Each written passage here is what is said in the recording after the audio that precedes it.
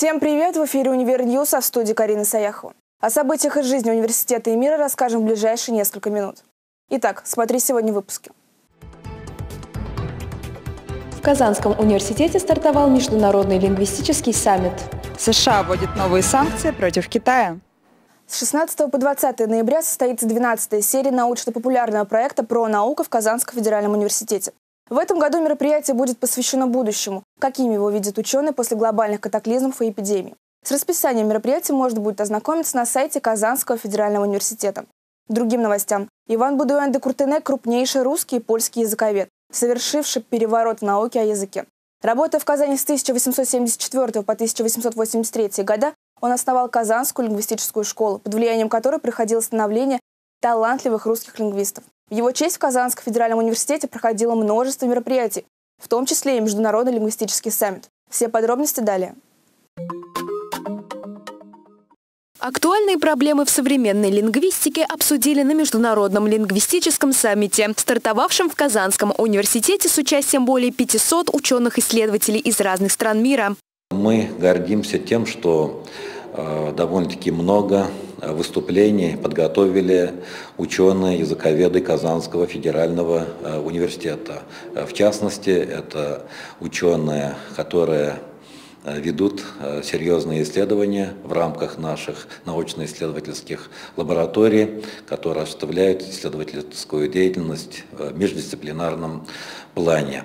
Мероприятие посвящено 175-летию основания Казанской лингвистической школы Будуэна Дукартене и 145-летию его работы в ВУЗе. Саммит проходит в онлайн-формате. С приветственным словом на открытии выступил ректор Казанского университета Ильшат Гафуров.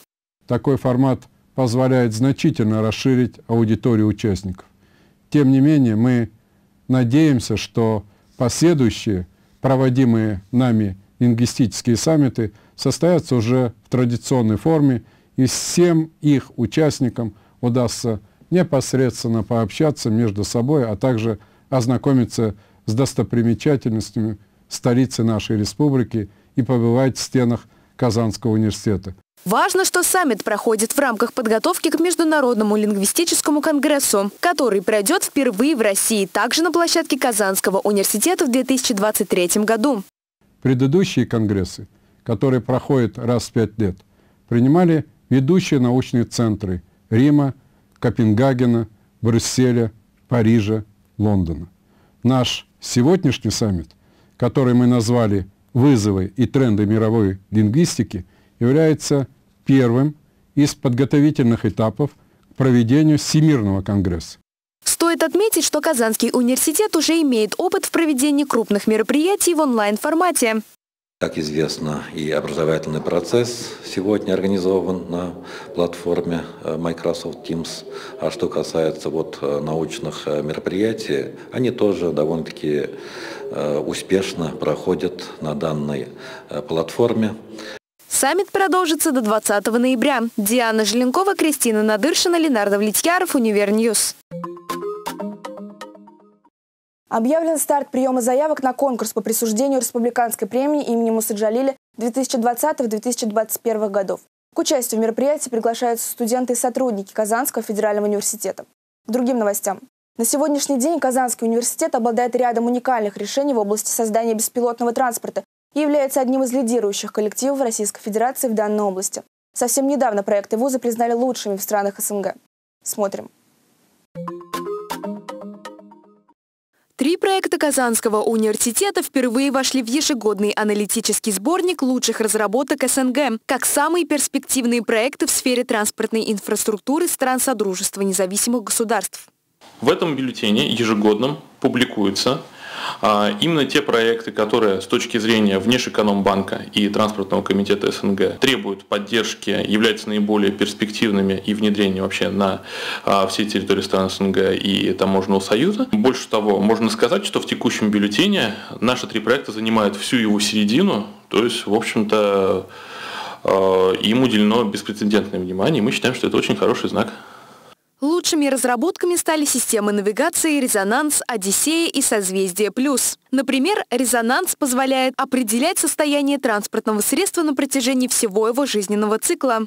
Это позволяет радикально снизить а, а, амортизацию автомобилей интегральную, повысить межремонтный ресурс а, и а, существенно снизить вложение в обновление парка транспортных средств для всех предприятий. Проект «Созвездие Плюс» является уникальной системой навигации и ориентации высокой точности, ключевыми факторами при построении беспилотного транспорта.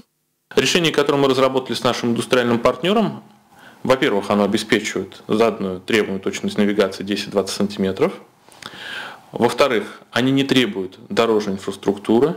В-третьих, при оптовых закупках его стоимость составляет менее 300 долларов. Это, конечно, прорыв. Третий проект «Одиссея» – это комплекс систем беспилотного вождения, прежде всего для специализированного транспорта. Это э, транспорт сельскохозяйственный, это транспорт карьерный, то есть карьерные самосвалы, и транспорт специального назначения, то есть всякие бульдозеры, экскаваторы и остальное. Эти технологии, они очень перспективны с той точки зрения, то, что позволяют работать эффективно а, тем объектам, которые требуют задействования большого количества транспорта в условиях как раз пандемии, потому что вот как раз они не будут требовать оснащения именно людьми. По словам Дмитрия Чекрина, в проекты стали лучшими не случайно. Сотрудники Казанского университета являются авторитетными специалистами в этой области. Нашей интеллектуальной собственностью, нашими наработками пользуются практически все вендоры, которые выпускают, планируют выпускать беспилотную технику на территории Российской Федерации. Диана Желенкова, Фарид Захитоглы, Univer News. Почему Трамп вводит санкции против Китая? Повлияло ли на это решение Джо Байден? Чем эти санкции невыгодны американцам? Узнаете в нашем следующем сюжете. Дональд Трамп намерен принять ряд жестких мер против Китая. Одной из версий принятия такого решения является то, чтобы Джо Байден в случае его победы на выборах не смог изменить действующий курс в отношениях с Китаем. Дональд Трамп понимает, что у него остается мало времени вот, для, для того, чтобы э, свои как бы, идеи воплотить в жизнь. Вот, очевидно, что выборы он проиграл, вот у него остается буквально э, три месяца э, для для того, чтобы довести свои начинания. А вот э, его идея о том, что Китай это главный торгово-экономический соперник для США, это фактически его основная идея, которую он выдвигает уже на протяжении последних вот четырех лет. И поэтому он хочет уйти, громко хлопнув дверью, вот, и показав, что вот в рамках этой политики он смог сделать достаточно много. С другой стороны, торговая война между Китаем и Соединенными Штатами Америки ведется уже довольно длительный период. И данные меры еще один из этапов похолодания отношений. Но, как показывает опыт, экономика США страдает сильнее от вводимых санкций по отношению к Китайской Народной Республике. Конечно, в этой ситуации пострадают в первую очередь э, сами граждане Соединенных Штатов, которые в случае, если китайская продукция а, уйдет с американского рынка, они просто либо не получат часть продуктов, которые могли бы получить, либо их получат, но уже совершенно по другим а, ценам. На этот раз санкции вводятся против большого количества китайских компаний, занимающихся IT-сектором, а также государственных структур и должностных лиц, за приписываемое им участие в нарушении прав человека. Вот эти обвинения, они всплывают в тех случаях, когда а, нет аргументов достаточно квалифицированных, достаточно серьезных, чтобы заставить Китай действовать действовать каким-то образом. Да? Вот торгово-экономически Соединенные Штаты не могут повлиять потому что китайская экономика гораздо сильнее сегодня, чем американская экономика. И поэтому вот чтобы создать какое-то напряжение и привести в пользу свои аргументы, всплывает вот это традиционное обвинение в нарушении прав человека. Эксперты также отмечают, что если пост президента США все же займет Джо Байден, то американские отношения с Китаем могут заметно улучшиться. Китай, он отлично понимает, да, что если к власти в Соединенных Штатах придет более рациональный, более а, компромиссный руководитель, то, естественно, и Китаю не будет иметь смысла как бы помнить какие-то прошлые, так сказать, действия Соединенных Штатов, потому что сотрудничество выйдет на новый уровень. Кристина Надыршина, Univer News.